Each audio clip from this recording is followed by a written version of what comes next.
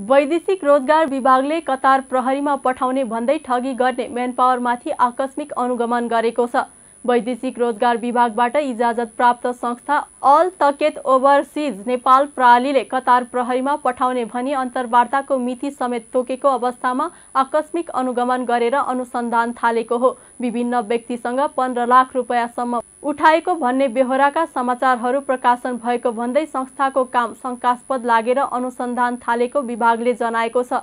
अहिले म्यान पावरका सम्बन्धित कागजात बरामद गरी अन्य आवश्यक अनुसन्धान भइरहेको विभागका सूचना अधिकारी कृष्ण प्रसाद भूषालले बताउनुभयो।